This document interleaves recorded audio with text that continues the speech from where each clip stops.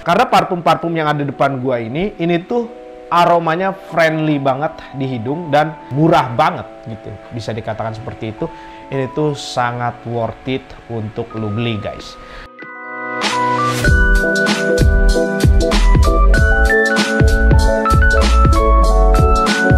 Halo bro, kembali lagi bersama gua Edwin Enrico di LBW Channel. Tentunya channel yang keren. Oke, pada kesempatan kali ini gua enggak untuk membandingkan parfum dupe dengan yang originalnya kayak gitu ya, Bro. Oke, Bro. Jadi di sini gua mau merekomendasikan ke kalian 5 parfum yang paling tepat kalau menurut gua untuk para pemula under 1 juta. Karena memang harga parfum yang ada di depan gue ini, ini tuh sengaja gue pilih-pilihin yang harganya di bawah 1 juta semua. Dan kalau menurut gue, ini tuh sangat worth it untuk lu beli guys. Jadi sebelum lanjut ke videonya, seperti biasa gue mau disclaimer terlebih dahulu mengenai video gue ini. Di mana yang gue utarakan di sini semata-mata pandangan gue pribadi, asumsi gue pribadi, dan pengalaman gue pribadi dan sudah pastinya selera gue pribadi kayak gitu bro jadi kalau misalnya kalian ada yang berbeda dengan gue pandangannya sah-sah aja dan itu fine-fine aja karena parfum itu sifatnya selera dan tergantung si pemakai kayak gitu jadi tidak jadi masalah jadi seperti kita tahu di mana ada beberapa orang ada ketakutan untuk pindah ke parfum-parfum ori karena apa? Sebetulnya ada beberapa faktor. Biasanya, yang pertama biasanya mereka karena belum ada budget, kayak gitu ya. Yang kedua, biasanya terlalu nyaman dengan parfum refill. Dan yang ketiga, biasanya terlalu takut kecewa untuk membeli parfum-parfum original. Takutnya beli mahal-mahal, nggak suka aromanya. Nah, seperti itu pengalaman gua dan yang gua tahu kayak gitu ya. Jadi, kalau menurut gua, memang kita itu para pecinta parfum harus banget kalian tuh hunting-hunting terlebih dahulu atau minimal kalian tuh jangan beli langsung yang terlalu mahal. Kalau untuk para newbie kayak gitu ya. Gua sarankan kalian beli yang harganya tuh diawali dari harga yang terendah dahulu kayak gitu atau yang lebih murah ya. Jadi kalian udah terbiasa dengan parfum-parfum original terus kalian mulai upgrade. Itu sih saran gua. Makanya di sini gua mau merekomendasikan 5 parfum yang aman banget untuk kalian beli para pemula. Nah, di sini kenapa gue bilang aman? Karena parfum-parfum yang ada depan gua ini ini tuh aromanya friendly banget di hidung dan gampang banget diterima oleh semua hidung kayak gitu ya. Jadi kadang memang parfum-parfum ori ini tuh banyak banget yang kayak aneh-aneh, khususnya dari niche brand. Itu tuh aromanya kayak semacam mungkin orang lain tuh nggak suka gitu, tapi ada beberapa orang yang fanatik karena memang tujuannya seperti itu. Oke bro, kita lanjut aja. Yang pertama yang bakal gue rekomendasikan ke kalian yaitu parfum Nautica Voyage. Nah, seperti ini. Jadi parfum ini, ini tuh gampang banget diterima oleh hidung untuk aromanya. Di mana ketika kalian pakai parfum Nautica Voyage ini. Ini tuh aromanya seger banget dan fresh banget. Dan tentunya cocok banget untuk kalian dipakai daily, kayak gitu ya. Jadi untuk para pemula ini tuh bagus banget parfum Nautica Voyage. Mengeluarkan aroma yang fresh, di mana aroma fresh green yang bercampur dengan fruity dan sedikit aroma-aroma aquatic. Nah, bisa kalian bayangkan tuh ya aroma-aroma seperti itu. Ini tuh gampang banget diterima oleh hidung di mana pun lu berada nih. Ketika lu, lu pakai parfum ini, ini tuh bakalan diterima oleh semua hidung. Jadi kalian jangan khawatir kalau mau pakai parfum ini orang nggak suka. Karena sepengalaman gue, parfum ini tuh semua orang hampir suka kayak gitu ya. Karena memang aromanya yang clean, fresh dan friendly tentunya. Jadi gua rekomendasi buat kalian parfum Nautica Voyage. Untuk parfum Nautica Voyage sendiri, harganya itu ada di kisaran 475.000 per 100 ml. Ini tuh worth it banget untuk kalian pakai. Dan untuk longevity-nya sendiri, parfum Nautica Voyage ini ketika lu pakai, ini pengalaman gue ya, Bro Gua pakai 8 sampai 9 spray kayak gitu. Ini tuh stay ada di baju gua kisaran 6 sampai 7 jam. kayak gitu ya untuk si Nautica Voyage. Mungkin kalau misalnya kalian pakainya di luar ruangan itu pengalamannya akan berbeda karena memang suhu dan udara itu sangat berpengaruh ketika kita pakai parfum. Jadi yang pertama gue rekomendasiin ke kalian yaitu Nautica Voyage. Oke, yang kedua yaitu parfum Iceberg. Ini mungkin parfum Iceberg ini yang serinya Fusion. Fusion ini kayak semacam kurang terkenal memang, tapi jujur gue enjoy banget dan udah lama banget pakai parfum Iceberg ini. Di mana parfum Iceberg seri Fusion ini, ini tuh ukurannya 75 mili. Dan tentunya parfum ini juga bukan parfum dupe kayak gitu ya bro. Ini tuh enak banget bro. Gue jujur gue enjoy banget pakai parfum ini. Di mana parfum ini untuk aromanya sendiri yaitu aroma citrus yang sangat segar, aroma fresh, ada sedikit woody, dan sedikit aroma musky yang bercampur dengan aroma-aroma powdery di aroma ending parfum Iceberg fusion ini kayak gitu ya. Jadi gua sarankan banget buat kalian yang suka aroma-aroma jeruk yang seger yang bercampur ada sedikit maski-maskinya. Gua sarankan untuk para pemula kalian beli parfum Iceberg Fusion. Untuk per 75 milinya sendiri harganya ada di angka 310.000. Itu worth it banget untuk kalian beli dan jujur, gue udah lima tahun pakai parfum ini. Ini tuh gue nggak pernah bosen. Karena memang kalau menurut gue ini tuh aroma yang sangat-sangat bisa diterima untuk di semua tempat. Khususnya untuk siang hari, nggak bikin kelayangan, nggak bikin mual, dan bikin nyaman semua orang ketika lu pakai parfum Iceberg Fusion ini bro. Jadi rekomendasi gua untuk kalian untuk yang kedua yaitu Iceberg Fusion kayak gitu ya. Dan kalau misalkan kalian udah pakai parfum Iceberg ini, apa pendapat kalian? Karena memang brand ini itu brand yang cukup lama kayak gitu ya. Jadi dia kalau nggak salah kayak gitu ya. Ini tuh lintingannya dengan Davidoff Cool Water. Itu udah lama banget kayak gitu ya. Jadi dia itu kompetitornya. Tapi memang Davidoff lebih bersinar dibandingkan si Iceberg ini. Nah, kalau menurut gua, karena memang ini juga harganya nggak terlalu mahal kayak gitu ya, cukup mengeluarkan budget 310 ribu dan murah banget gitu. Bisa dikatakan seperti itu. Dan aromanya cukup friendly dan enak banget sih bagi gua pribadi. Kalian wajib cobain Iceberg Fusion untuk para pemula. Oke, lanjut. Yang ketiga. Di mana yang ketiga, ini tuh gua punya Bentley Foreman Azure.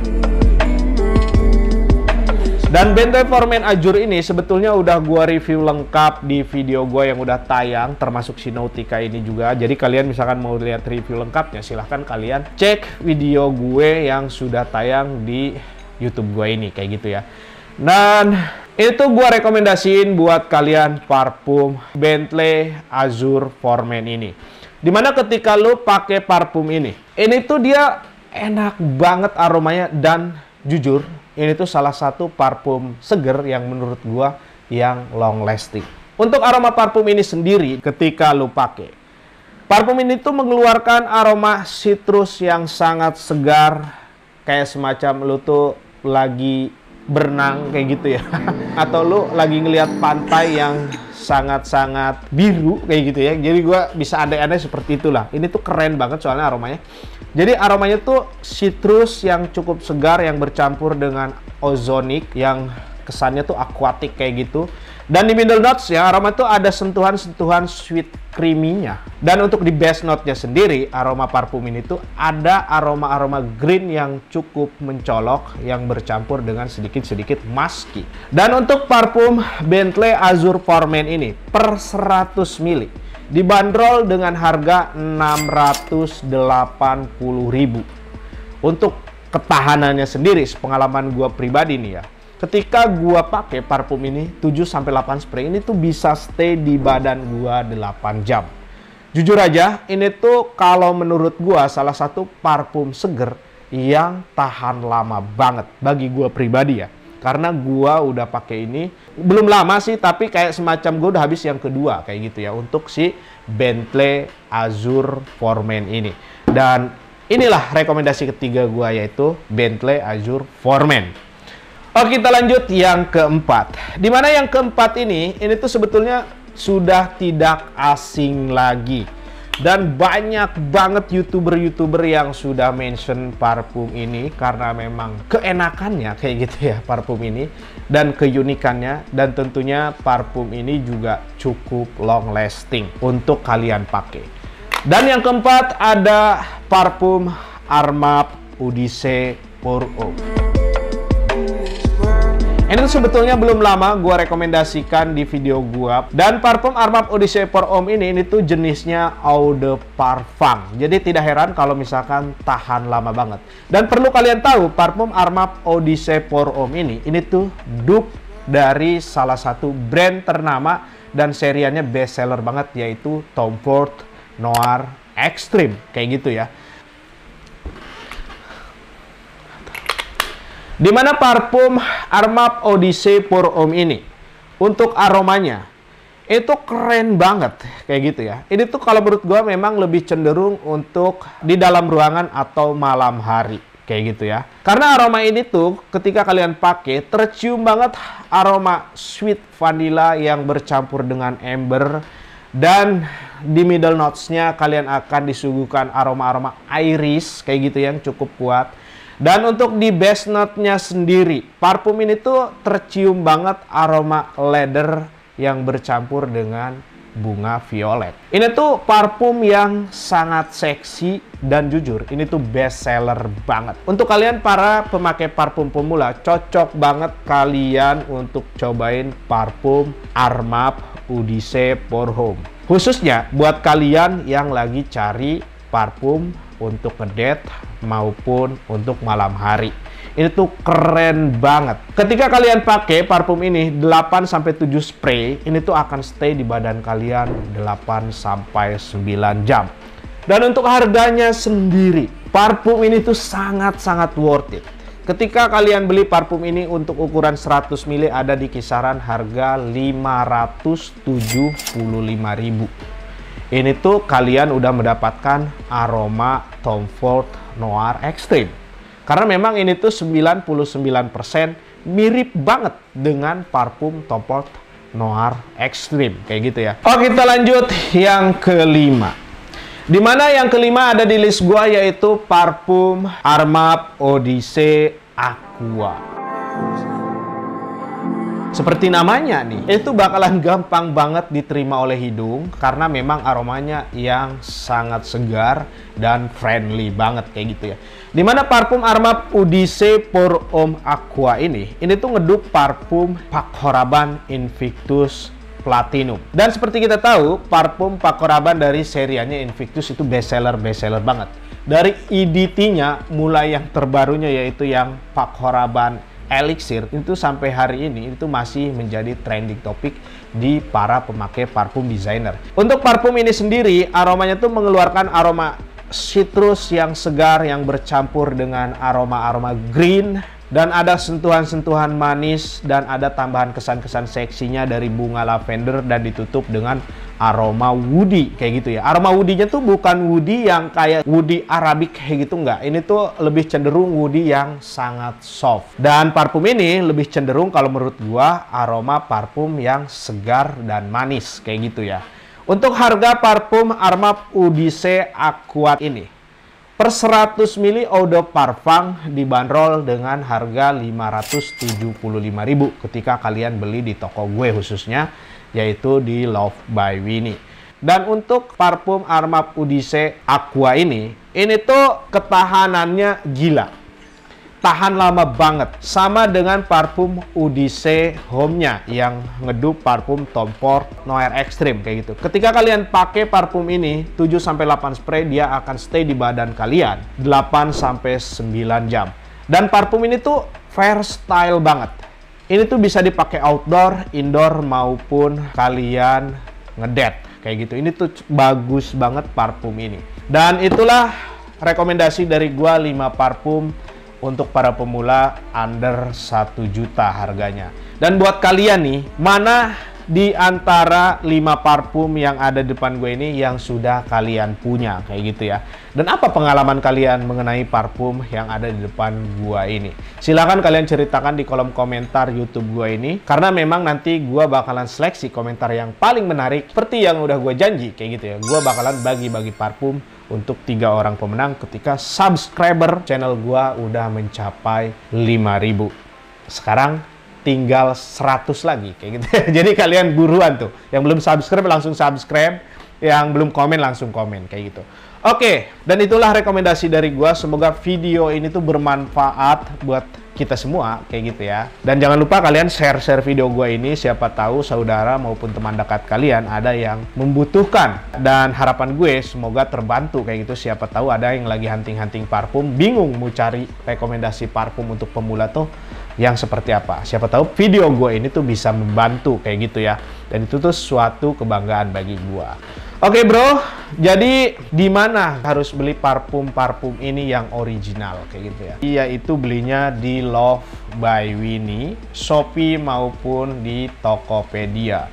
Dan Shopee Love by Winnie itu tuh Shopee Mall keasliannya sudah pasti terjamin. Tokopedia-nya juga itu tuh official store. Jadi tidak perlu diragukan untuk keasliannya. Kayak gitu ya. Jadi mustahil barang di Lockboy ini tuh KW. Kalian tidak perlu khawatir. Nanti gue bakalan kasih linknya di deskripsi video gue ini. Dan sebetulnya di sini bukan berarti lu harus beli di toko gue. Enggak ya bro. Kalau lu udah punya toko yang terpercaya, bukan Shopee Mall maupun bukan official store, tapi terpercaya sellernya dengan menjual original dan lu udah langganan, gas di sana. Nggak berpatokan harus beli di toko gua. Nggak juga kayak gitu ya. Karena memang setiap orang kan punya pilihan masing-masing.